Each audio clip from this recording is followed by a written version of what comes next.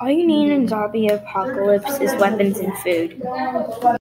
So, uh, zombies are most likely to be in places that are highly populated, since zombies are made by other zombies. Zombies are gonna want to be in places with more people to, uh, you know, feast on. And how to kill them suckers? You want to kill them, them bad boys with a, um, frick a, uh, a knife and a gun. Oh, time to die! And shoot them in the head and cut their heads off.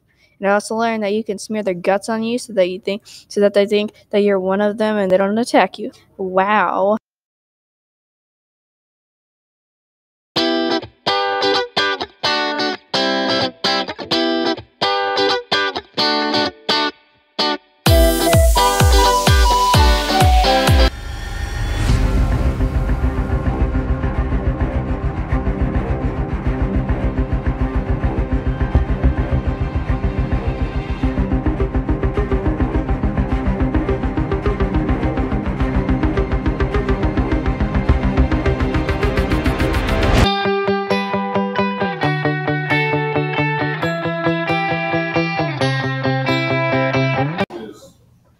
There we go.